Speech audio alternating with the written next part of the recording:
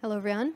My name is Katie Gamanji, and currently I am one of the senior field engineer at Apple. I have joined Apple two years ago, and in this role, I am aiming to bring the cloud native and Kubernetes expertise to different products and teams within Apple. As well, I am one of the TOC, or Technical Oversight Committee member for CNCF. As part of this role, I'm joining 10 other champions within the industry, and we try to provision a long-term vision for our CNCF landscape. We have, well, actually, I have many roles in the community. Uh, however, I would like to mention that currently I'm the creator of the Cloud Native Fundamentals course, which is completely free and you can take on Udacity. A very good resource for anyone who's looking to start or getting starting, started within the CNCF community. And lastly, quite recently, I won the Women in IT Awards for the Next Generation Leader. And with this, Bill? So I'm Bill Mulligan, and I work at Isovalent. Um, I'm a community pollinator, and my goal is to help make the Cilium and eBPF communities blossom. Um, I'm also a committer to the Cilium project, which is CNCF uh, terms is basically like a maintainer. Today, our aim is to actually talk uh, around crossing the chasm and how a project can reach graduation. Now, for anyone new to Cloud Native, our mission is to create a vendor-neutral space for projects to grow, while we focus on interoperability, scalability, resilience, and many other principles. In short, we aim to make Cloud Native ubiquitous. The TOC, or the Technical Oversight Committee, drives technical decisions to serve that mission. We work very closely with the projects, provide the long-term vision for the landscape, but at the same time advise projects on how to reach a healthy maintainer and adopter base. Now, who are we? Currently, we are 11 people coming from very different organizations, but experts in their own domains and areas.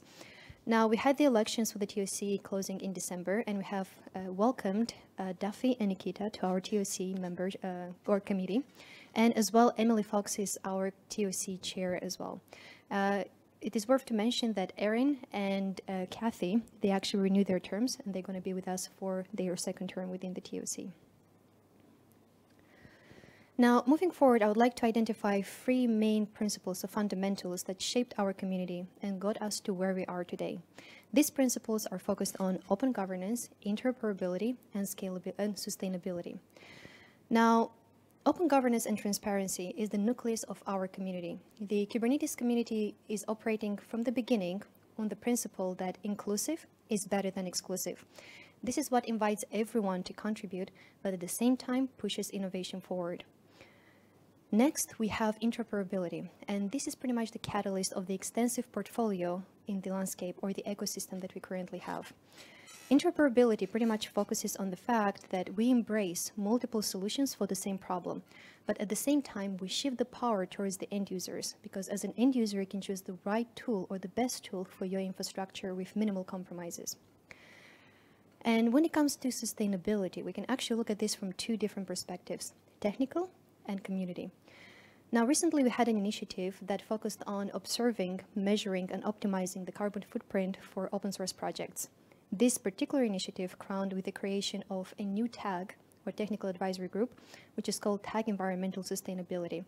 They aim to put environmental sustainability on everyone's agenda, but more importantly, they aim to innovate for green technology.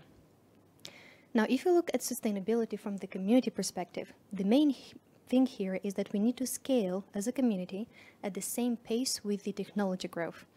We always have to strive to create a nurturing space for the next generation of cloud native practitioners to operate in. And we can do that through many initiatives such as upskilling, mentoring, certifications, and many more. Now, everyone, or most of you, might have been familiar with this picture here. This is pretty much the CNCF landscape. Now, usually it is showcased to highlight the size and complexity of our community. However, as the TOCs, we look at this from a very different perspective.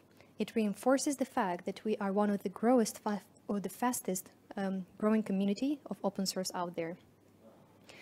And this means that we need to grow and scale our processes as well to ensure that we can further expand as a community, again, from a community standpoint and technical standpoint as well.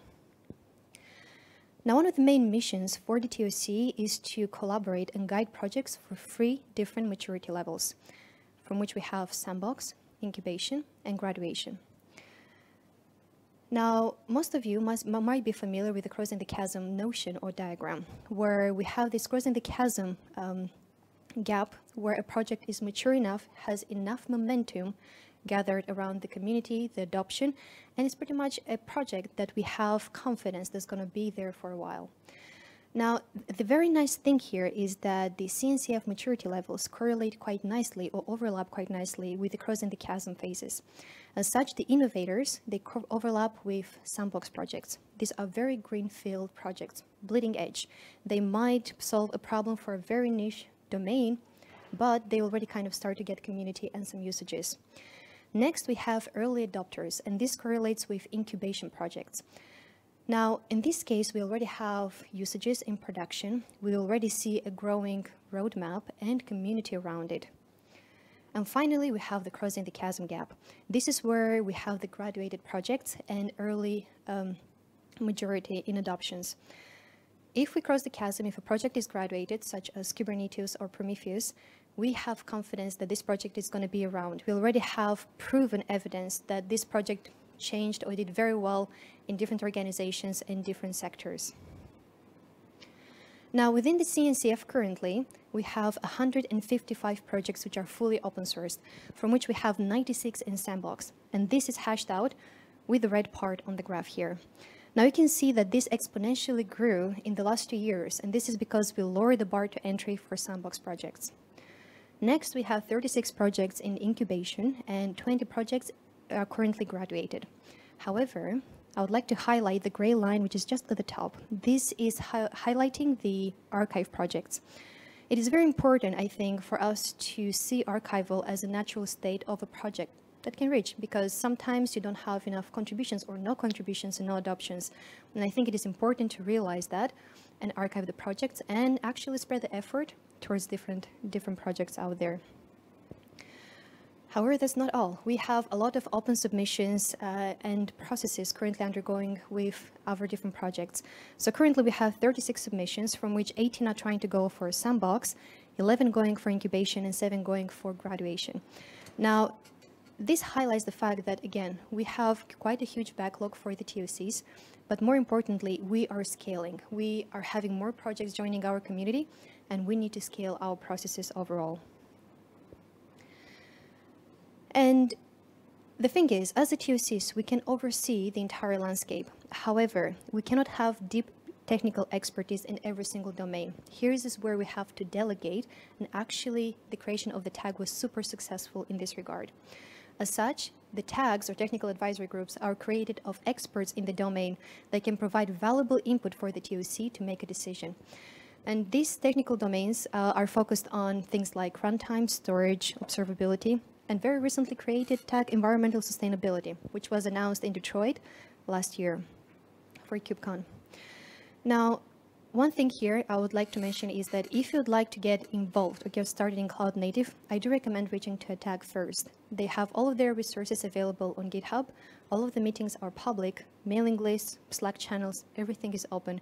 So you'd be able to not only interact, but get started with your contributions straight away.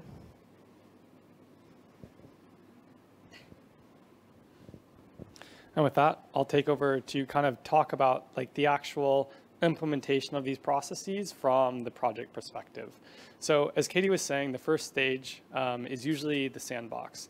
Now, the sandbox is where the early stage projects go.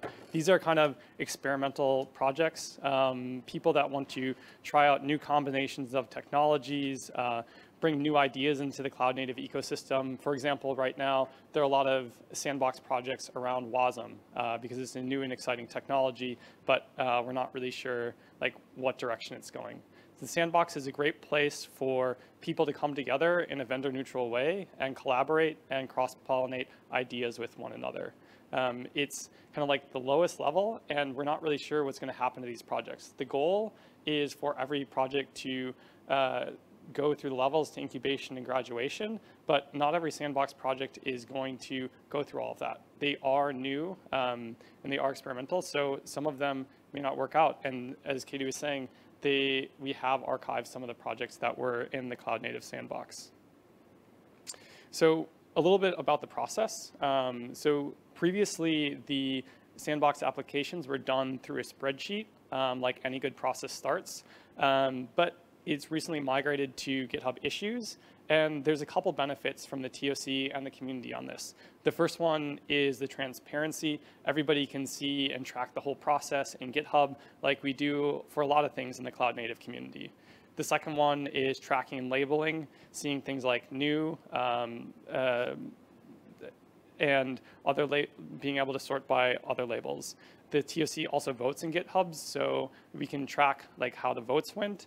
And now the projects can have direct contact with the TOC, and the TOC can directly contact the project maintainers for more information when they need it.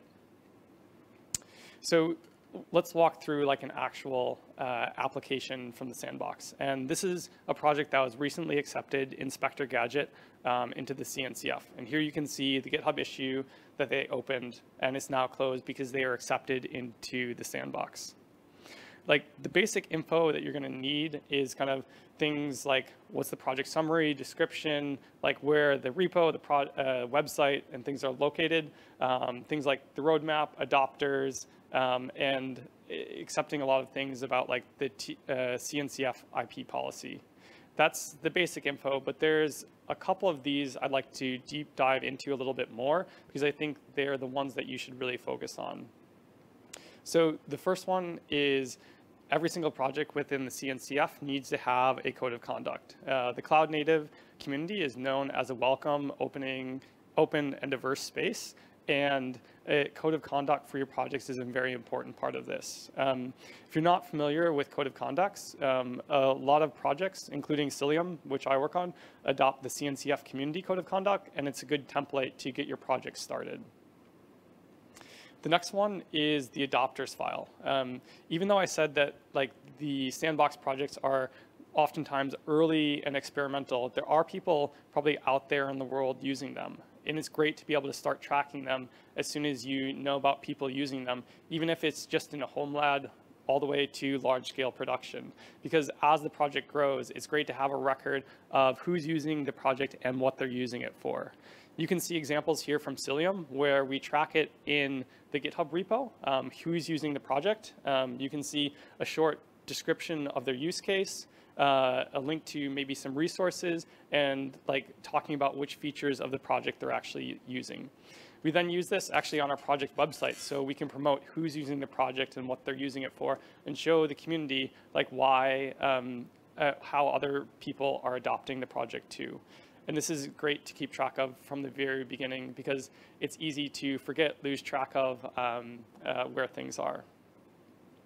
And then the next part, and I think probably like the most important part for the application is actually kind of like the justification. And this is kind of your argument to the TOC why your project should be in the CNCF versus any other project uh, foundation under the Linux Foundation or as a separate independent open source project. So things like why does the CNCF uh, benefits to the landscape? As we saw, it's already so large. What, what is new that your project is bringing?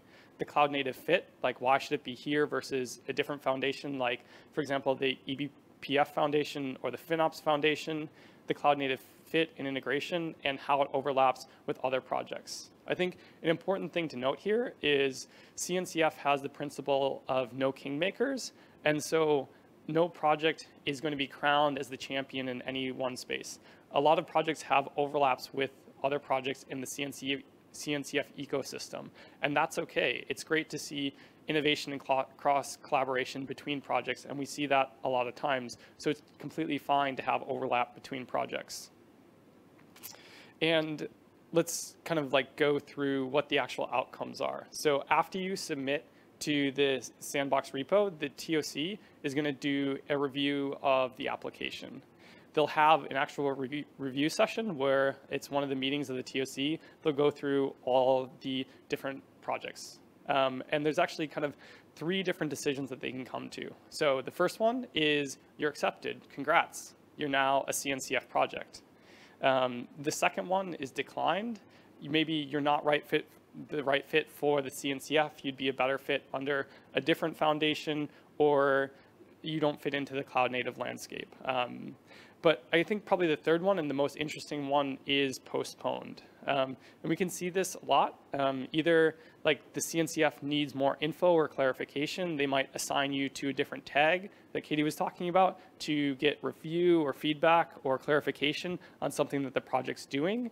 Or you may need to grow the project a little bit more, the contributors, who's using it. Um, and the TOC would like to see it in the CNCF in the future, but they'd see like to see a little bit more maturity of the project before they accept it into the CNCF.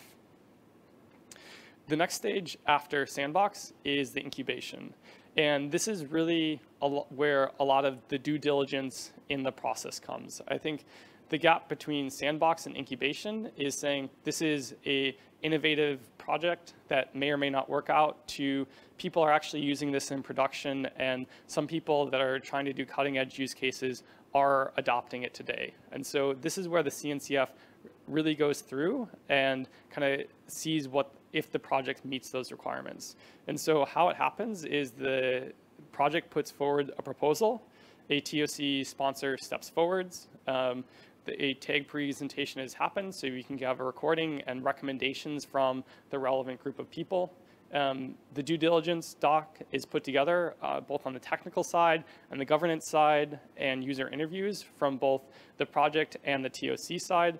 And then the whole TOC reviews that and puts it up for a vote, um, whether to move on to incubation or not. Um, like the TOC wants all projects to be successful. Um, and actually at this point, there hasn't been any projects that have failed the vote for incubation. Some have taken longer than others, um, and, and, that's perfectly okay. Like sometimes it takes a project longer to mature. Um, it's, it's not a problem. We like to see projects continue to grow, develop, and evolve. Now, the key things in the application process for incubation are first, being successfully used in production by at least three independent adopters. So the TOC wants to see that people are actually putting this into production and relying on it in the real world. The second one is a healthy number of committers, so people that are contributing to the project and have the actual commit bit. The third one is an ongoing flow of commits and merge contributions. Um, so is the project continuing to grow, evolve, um, and expand? I think the important caveat here to note, though, is that the CNCF has a wide variety of projects from specifications all the way up to Kubernetes. These metrics aren't going to look at look the same across all the different projects because there is so much variation. What may be like a healthy number of contributions for a specification could be vastly different for a fast growing open source um, project like Kubernetes. Um, a clear versioning scheme is important and for specifications, at least one public refer reference implementation. So that's kind of like the high level requirements, and then the actual due diligence document dives into the details. So the TOC wants to know the background of the project, what its goals are and its current status, uh, the future plans and project scope, the formal requirements I talked about before, and they actually go will go and interview your end users to understand what their experience is, not only just using the project, but actually inter interacting with the project too. Is the project open? Does it have uh, like a welcoming community? Are people like willing to engage? And is there a good feedback loop between the actual end users and the project too? Um, there's also other considerations and contexts that may vary based on the project. For example, how does it fit into the rest of the landscape and overlap with other projects? If you want to see an example of a due diligence doc, um, you can check out the one that I put together for Cilium. Um, uh, the links at the top there, and you can see kind of go, go through and see like what we said about the Cilium project. Now, as Bill mentioned, we actually do the end user interviews, and this is because we re really want to capture the entire experience of developing a project and using the project in production. As such, we're going to focus on three main aspects, experience, benefits, and challenges. Now, we really want to understand what was the experience of the end users while adopting the project and integrating it with the existing components within their platform systems. As well, we focus on the interaction with the community as well, because as an end user, if you had an issue or, for example, you have a request for a new functionality or you discovered a bug, what was your experience in communicating that and actually getting a result for, for your issue? So really try to understand what is the entire life cycle of the project from creation to adoption. Next, we're going to focus on the benefits. What is the key selling point for this project? We really want to understand why this project was chosen in comparison to other products on the market. Is it because it's the only product out there and that was your only choice? Or is it because this particular project actually brings something very valuable to the community and to your project as well? And finally, we're going to focus on some of the challenges. What were some of the drawbacks or difficult moments on integrating the project within your infrastructure? Now here, actually, we discover some of the points or the areas that the project can actually improve on. So we can uh, pretty much send all of this feedback back to the maintainers for them to improve and enhance on top of. And once you've gone through kind of like this whole process, uh, the TOC will vote, and hopefully you'll move to incubation.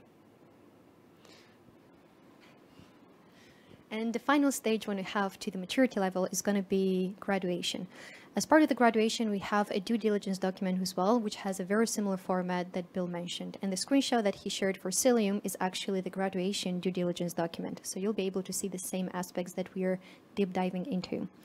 Now, it is very important to mention here that once going for graduation, you actually have to fulfill the criteria for sandbox and incubation. So you cannot really skip all of that. You have to fulfill all of the criteria. And in addition, we have some uh, other guidelines on top of it. The first one is a healthy contributor base. You need to have contributions from at least two organizations. However, we're looking to have a very balanced contribution as well. If all of the PRs and issues are opened, for example, 90% of those PRs and issues are opened by one organization, that does not signal a healthy community. We're really looking to balance it out as much as possible. The more contributors you have, the more organization we have con contributing to a project, the better. Next, I think this is one of those checkpoints, but we really want projects to achieve and maintain a best practices badge. And there are a lot of resources on how to include that into your project and maintain that. Next, security is actually something very important. We focus on that quite heavily, and we want the projects to complete uh, an independent and third-party security audit. As part of that, we want them to publish all of the results, but more importantly, we want to, them to fix all of the critical vulnerabilities in order to reach graduation. Now, we've mentioned things like uh, governance and code of conduct and processes. However, when it comes to graduation, we really want to have a very clear and explicit definition on how anyone can start to use the project or how they can actually contribute to the project. This should be a very clear path. So the first one, we're going to have a governance.md file. It can be any other name. This is just a placeholder. But the idea is should contain the process governance and committers. Here is like as a, as a contributor, how am I able to approach this project and contribute? As well, in the governance file, we would expect a reference towards an owner's file, and this will contain all of the existing and emeritus committers. Now, another important factor is the onboarding, offboarding, and emeritus criteria for the project, and this is going to be usually kept in a maintainer's file. More importantly, we want this to be not only defined, but actually applied in the community, in the project community. So we would expect this to be updated um, or reviewed at least once a year. And finally, Bill mentioned that we really want to see real applications of the project in the real world. And here we want to have a list of adopters. And again, the more, the merrier. Excuse me. Now, another thing is, if this is accompanied by case studies or extra information, that's even better because it really helps us to make the best judgment on the project maturity.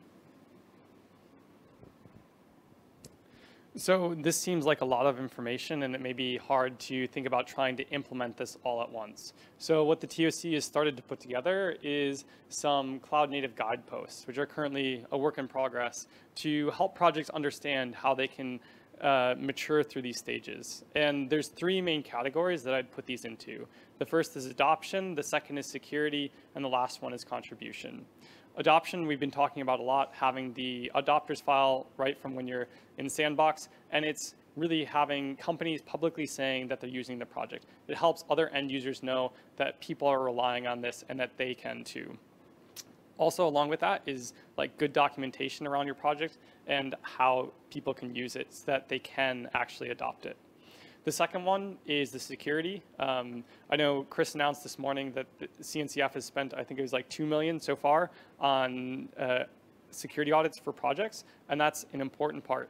If you're putting something into production, end users want to know that they can rely on this software to be secure. There's also things like audit, um, badging, and having a published threat model that will help enhance the security of your project. The last part is the contribution. Uh, open source projects live and die based on the community and the contributions flowing into their project. So having things like getting started documentation, contributor guides, public discussions, open governance, and a way to go through the project um, levels are very important for the health of your project. If you want to learn more, I'd check out the keynote from Dawn that happened just this morning, talking about how you can grow and have a healthy uh, community around your project. Uh, tag contributor strategy also has a great a bunch of great resources and templates that projects can use and go to contribute.cncf.io slash maintainers to find them. I know for myself in Cilium, I've used a bunch of the templates from the project uh, to grow some of the governance around our project too. And the last thing, if this seems like a lot of process, a lot of overhead, you may be wondering, why would I ever want to donate my project to CNCF? What are the actual project benefits that I, as a maintainer or contributor, can get from CNCF? And there are actually quite a few of them. The first one is the design. If you've seen, I guess, the, all the great signage around here, the t-shirts, um, Phippy characters, all that's done by CNCF and projects can take advantage of it. Projects can also, when they're graduated, get a Phippy character for themselves too. And I know I'm looking forward to the Cilium project character. The second one is around program management, helping out with uh, things like Zoom meetings and Google Docs. I guess a lot of the project overhead that's maybe not as fun to do. Legal services, if you thought program management was bad, try switching to legal. Luckily, uh, CNCF has a bunch of very experienced people in open source legal matter matters that can help for things like uh, license reviews and uh, other things that you may need. Um, tools and technical documentation. This is the infrastructure that makes all the other work possible. CNCF has a broad variety of tools that projects can leverage, and they also have tech technical documentation uh, writers who can help review and improve your project documentation. Things like CI, CNCF can pay for. It's great to have so many members because we can then bring this money back into the project so uh, we can fund their CI efforts. Certifications and trainings. Um, so for example, the Introduction to Cilium course was launched yesterday by LF Training, and I'm excited to see more certifications come up around that. And it helps prod, uh, people upgrade their knowledge around their project and show others that they're certified to use it. And the last part is the marketing. You're here today, so you're getting part of that marketing experience from CNCF. Um, a thing to note though, sandbox projects don't get marketing support because they're still experimental. It's only for incubating and graduated projects. And the last project benefit, all of these can be accessed through Jira, which is most people's favorite piece of software. I love to have a ticketing system. And finally, I would like to leave you with a perspective on the overall life cycle of a project whilst being in the CNCF. The first thing which is very important to remember is that entering and moving level criteria is in constant change. And this is only natural. We actually should update our processes. For example, a project that graduated two years ago had slightly different criteria from a project that's going to graduate in the next couple of years. So this is only natural because we want to provide clear guidance and milestone for the projects to actually ensure and reach that maturity level. Next is that actually with every single project as a TOC, we have a tailored approach and this is sometimes necessary. For example, we have projects who enter directly to incubation. They skip sandbox and they apply for incubation straight away. That is possible. You cannot go directly for incubation, at least we didn't have that, but you can go for, for, for incubation. Now, the thing is, the due diligence for that particular process is more thorough because we need to answer some of the questions we had for Sandbox. Is this project a right fit for the CNCF? Does it overlap with other tools? What is the actual key selling point for this project and why it should be part of our community? So we need to do a more, like, more work and a more thorough uh, insight, like deep dive into the project. As well, actually, to mention here, uh, some of the examples of tools that moved to incubation straight away, we had Cilium, uh, we have Istio and Kubeflow, which currently is a work in progress or has open submission with us. Next, um, another example that is quite tailored is the Linkerd steering committee. Now, looking at Linkerd, we actually have most of the contributors coming from one organization, and we really want to ensure that vendor neutrality when it comes to the product development. As such, the TOC advised for the Linkerd project to have a steering committee to ensure they collect all of the voices across different boards, um, such as end users, other vendors, and to make sure that it's as vendor neutral as possible in its development.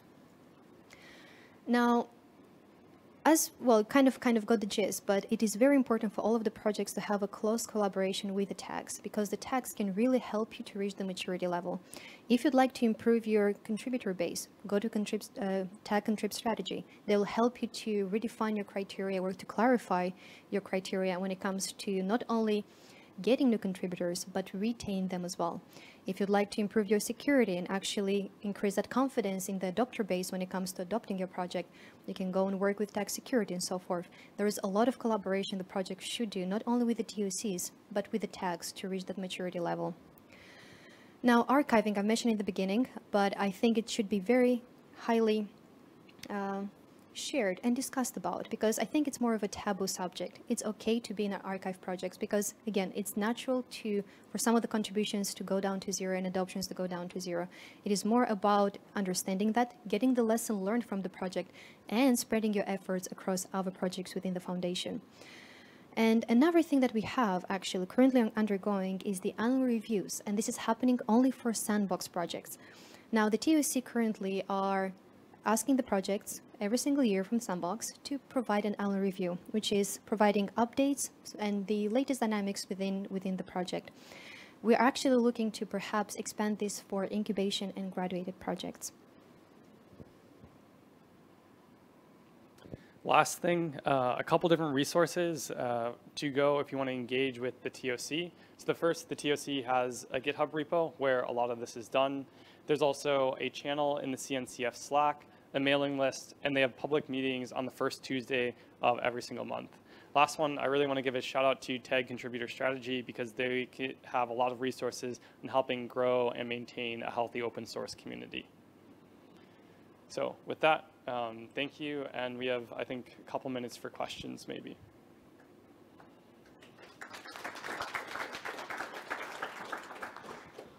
Thank you for all of the really helpful information. Um, I was wondering if there is like a uh, cutoff time for the amount of time a project can spend in the sandbox before they get archived, or what happens to them after that. Um, currently, we don't have a timeline for the project because we're actually facing a different problem. Well, not necessarily a problem, but a different situation at the moment because some projects are gathering that momentum to move to incubation. And that's kind of a natural way to move forward. But some projects, they still have contributions and adoptions that they're quite low. And they're just going to be in Sandbox for a while. They, they serve for a very particular segment and niche within the market. And the thing is, they don't have sufficient um, kind of capacity to move to incubation. Perhaps if, if they get more contributors and they, they get more adoptions. But we're facing this new situation where we're thinking what to do with these projects. I think at the moment, again, no timeline to answer your question very directly, um, but I think what we're trying to do from the TOC side is to provide more support and guidance on how can they thrive, even if they stay in Sandbox, for example, for forever, supposedly. We still want them to cut releases. We still want them to be a dynamic project all the way through. So um, yeah, I think when it comes to that particular segment of projects, work in progress, um, but yeah, definitely no timelines.